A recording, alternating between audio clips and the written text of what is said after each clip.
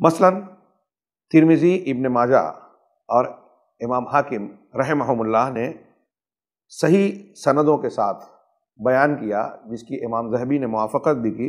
हज़रत अबू दरदा रज़ी अल्लाह तु से रिवायत है। वो कहते हैं, काला सल्लल्लाहु अलैहि वसल्लम, अला उनबुकुम बखैर अमालिकुम मिन इन्फाक़ ज़हब वल वरिक़, व खैर लकुम मिन अनतलक़ा अदुवकुम फ़तज़रबु आनाककुम व यज़रबु आनाककुम।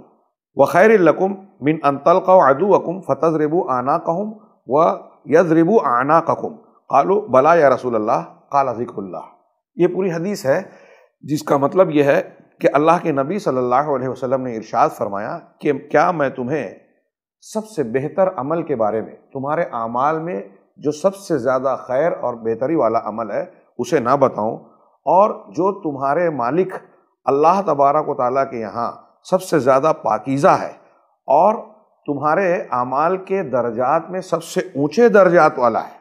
और इससे भी बेहतर है, तुम्हारे लिए अल्लाह के रास्ते में सोने और चांदी को खर्च करने से बेहतर है।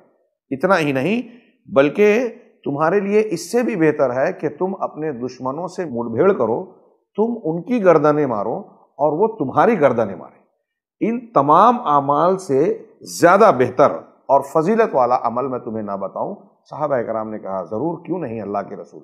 भला आप ज़रूर बताइए, ए अल्लाह के रसूल, आपने फरमाया, ज़िक्रुल्लाह, अल्लाह तबारक ताली का ज़िक्र।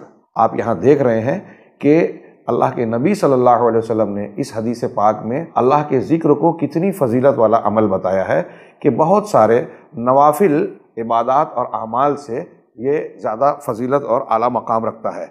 ऐसे ही और वीडियोस बनाने में हमारी मदद करें।